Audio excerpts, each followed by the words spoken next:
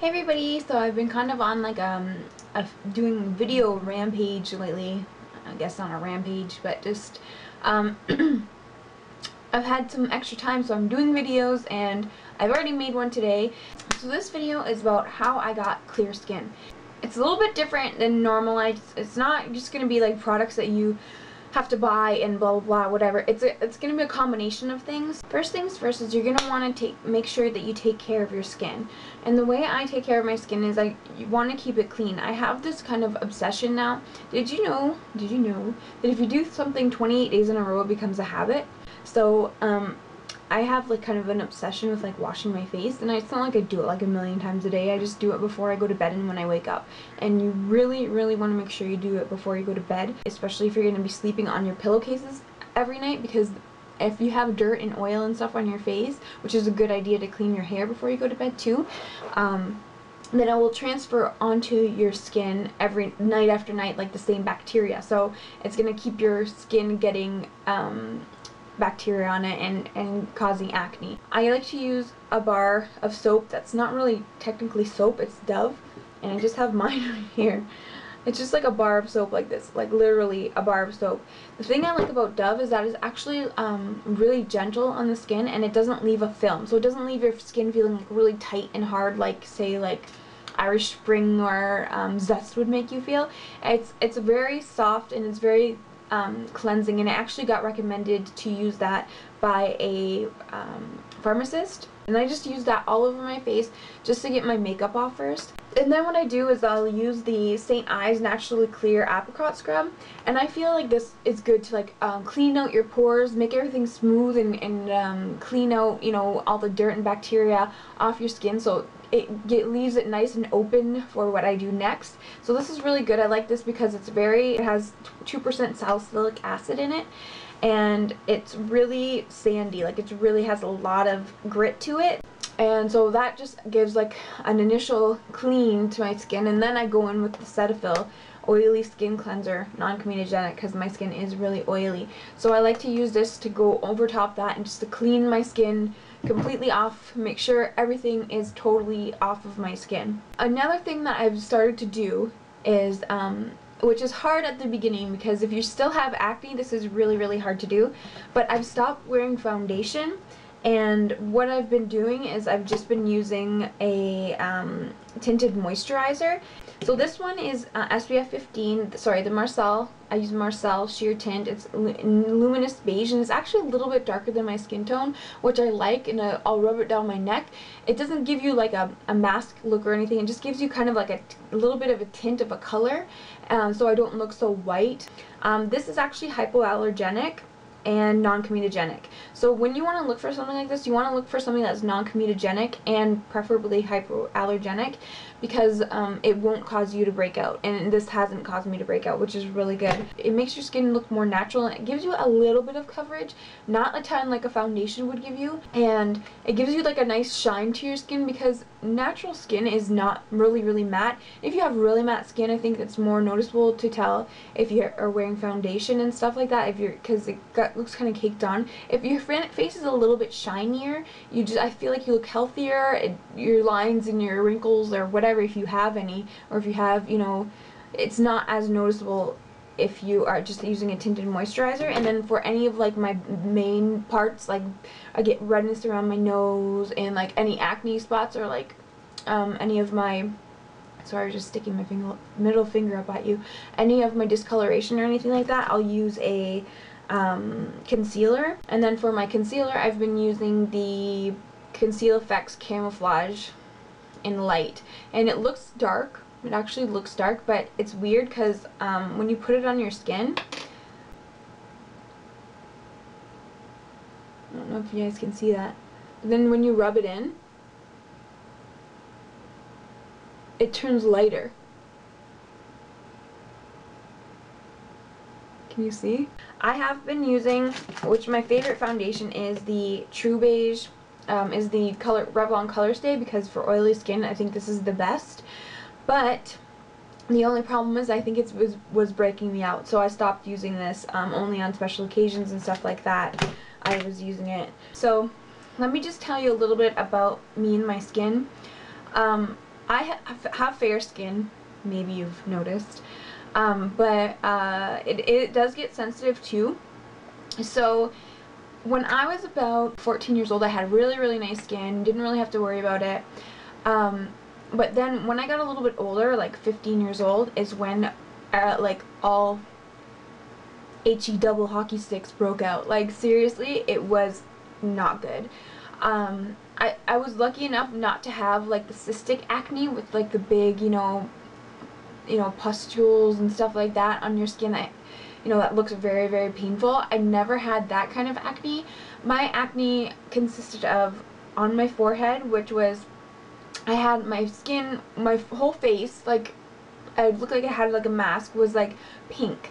It was really pink color and um, I had little bumps all over my forehead that were like to feel the touch is just oh it just it was awful like it wouldn't there was nothing really to pop. I think there was just like tons of blackheads all over my forehead. And then I got acne um, along here which a ton of acne along here which I still have hyperpigment hyperpigmentation and scarring from.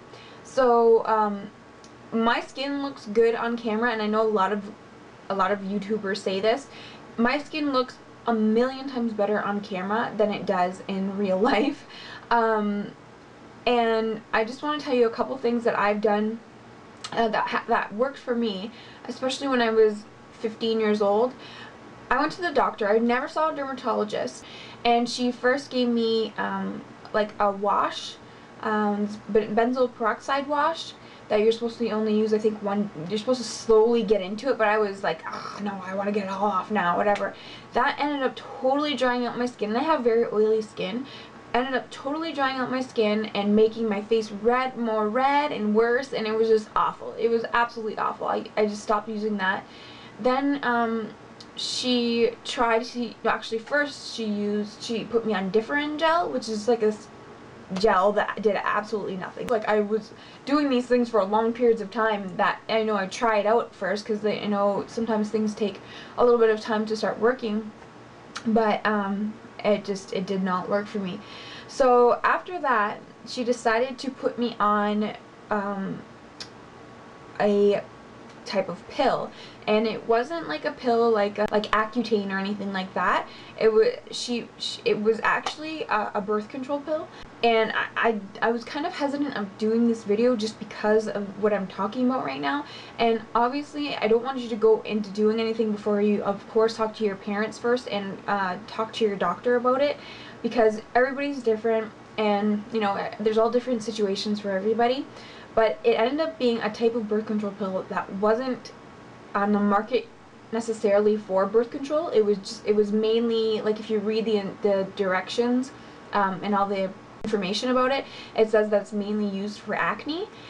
So she put me on that and she said, you know, it might take a couple months to work, but I'm telling you, like the first uh, month I started using it, I noticed that my acne, especially on my forehead, started to like fade. It started from the sides here and it started to fade in. So like I started getting clear skin like out, out here and then into the center. And then my whole um, forehead got clear and I was like so shocked and then as I kept using it my whole face got clear again so usually stuff like this like that like um um medications that you take like orally and whatever you have to give it time to work so if it's not working within the first month give it time because your body has to get time to have time to get used to it and stuff like that and um so my skin, I would say within four months, was completely clear. I had no more breakouts, anything. As long as I stayed on the pill, I was fine. So I stayed on that pill for um, about three years. I was on that pill. And um, so I, I decided, you know what, I'm getting older. My skin's probably cleared up by now. I think I was about eight, uh, 19. So I'm like, I'm just going to stop taking it. So I stopped taking it and um, it was it was okay for a while. Like for a long time, my skin was fine. Like I would get like a random breakout every once in a while. Um, up until about three years ago, my skin started getting worse again.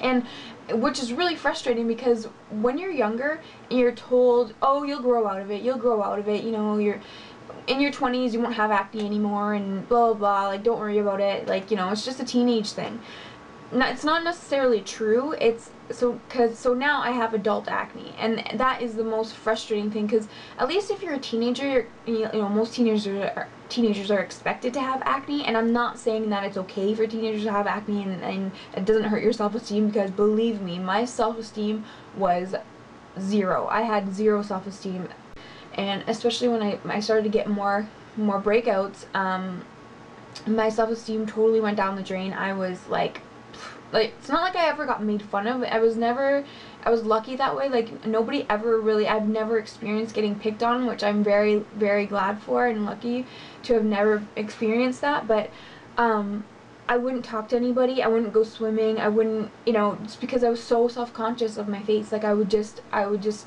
I would cry every night. I would feel so terrible about myself which um I shouldn't have because you know, it's about your personality. It's not about what you look like on the outside, but I'm a very sensitive person and it just made me feel really bad about myself. And um, so to have something that started to work was really really nice. So when I started to get uh, into my adult age or whatever um, I decided that I was going to start taking another form of birth control to control my acne because I heard of other ones. So I started taking Alesse to try to clear my skin and my skin did not clear whatsoever. It was very frustrating. I was like, you know what, I'm gonna have acne forever. It sucks, like I don't know what to do. And this is when I've been making videos, like I'm talking up until like six months ago I had active acne that I would hide very well on camera, always with a ton of makeup and stuff like that. Um, right now I don't have any active breakouts, which is amazing and I haven't had any active breakouts for about like I would say a month or two months now like any like not even one. This is what worked for me. It won't necessarily work for you work for you so make sure you ask your parents and a doctor before obviously you going through with any of this. So I hope this helped you out a little bit and I'll talk to you guys later